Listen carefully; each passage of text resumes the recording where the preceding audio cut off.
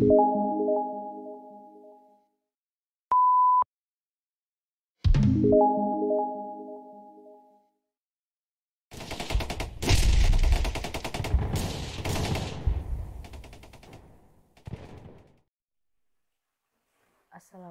warahmatullahi wabarakatuh.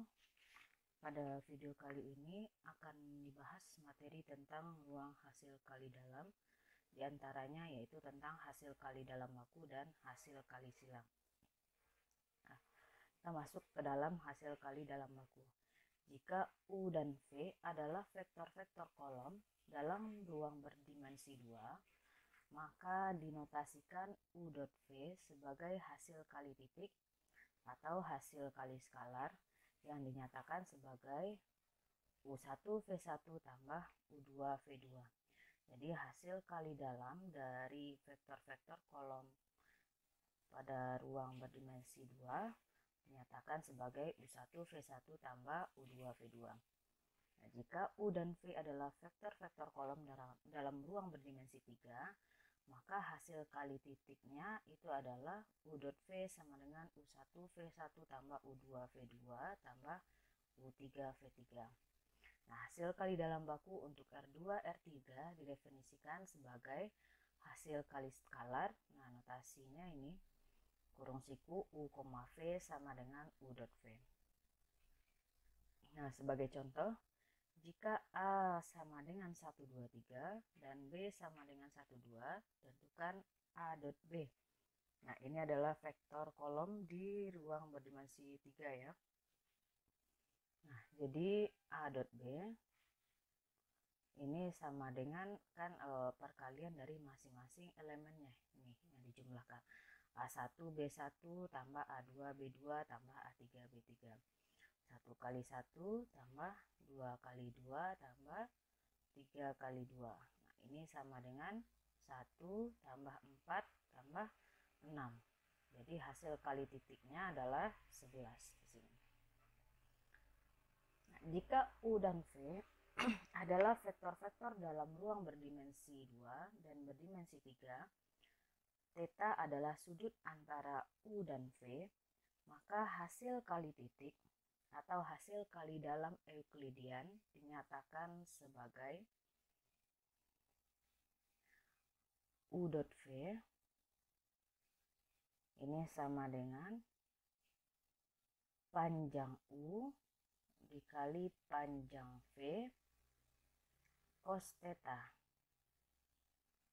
Nah, jika U tidak sama dan 0, dan V tidak sama dan dengan 0.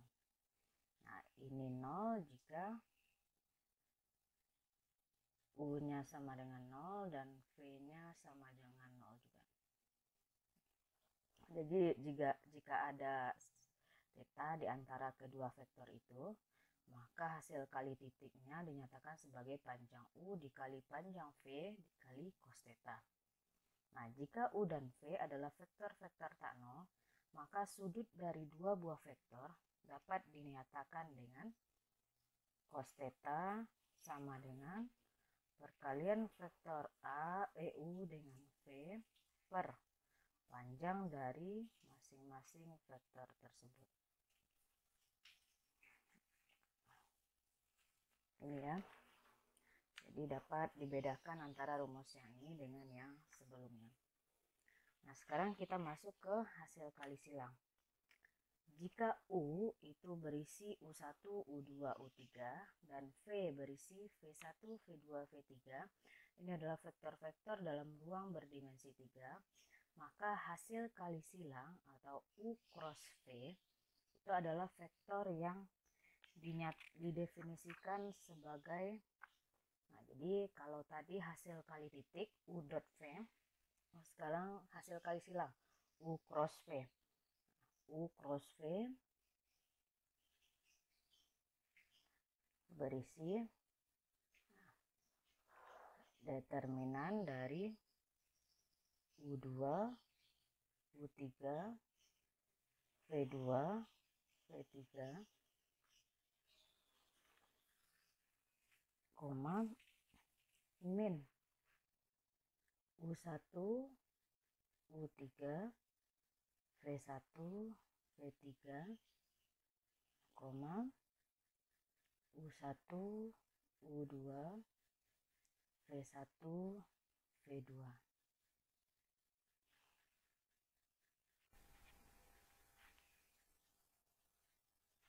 Nah, jadi ini nggak perlu dihafal sebenarnya ya rumusannya.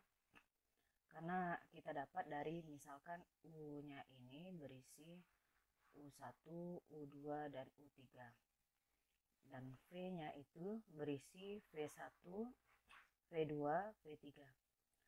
Maka hasil kali titiknya, eh hasil kali silangnya U cross V itu berupa vektor juga vektor 1 kali 3, 3 eh, kali 1 juga. Isinya apa? Berarti kalau untuk baris pertama, isinya adalah determinan. Determinan dari siapa? Hilangkan yang baris pertama ini. Berarti sisanya U2, U3, U2, U3, V2, V3. Nah, tandanya dimulai dari positif. Nah, ganti baris, ganti tanda negatif determinan. Nah, hilangkan yang baris kedua ini. Nah, berarti sisanya U1, U3, V1, V3. Nah, begitupun untuk uh, baris ketiganya. Baris ketiga berarti yang dihilangkan U3, V3 berarti sisa U1, V, U1, U2, V1, V2. Nah, ini determinan ya. Ini determinan. Jadi hasilnya untuk uh, perkalian titik hasilnya berupa skalar, sementara untuk hasil kali silang hasilnya nanti juga berupa vektor. Nah, contohnya carilah U cross V di mana U-nya itu adalah 1 2 min 2 dan V-nya 3 0 1. Berarti U-nya 1 2 min 2 dan V-nya adalah 3 0 1. KU uh, cross V ini sama dengan ini isinya determinan dimulai dari plus. Hilangkan 1 dan 3 nya berarti 2 min 2 0 1 nah koma min lagi.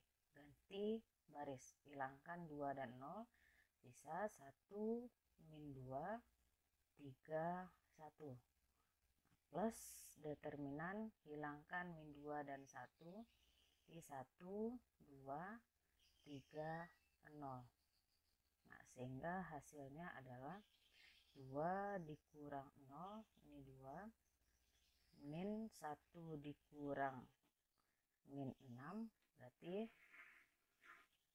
1 dikurang min 6 7 berarti min 7 0 dikurang 6 min 6 berarti hasilnya 2 min 7 min 6 ini untuk U cross V nah jadi sekian dulu pembahasan untuk video kali ini yaitu tentang hasil kali baku V dan hasil kali silang U cross V ingat kalau U dot V atau hasil kali titik itu hasilnya berupa skalar nantinya sementara untuk hasil kali silang ini hasilnya berupa vektor ya.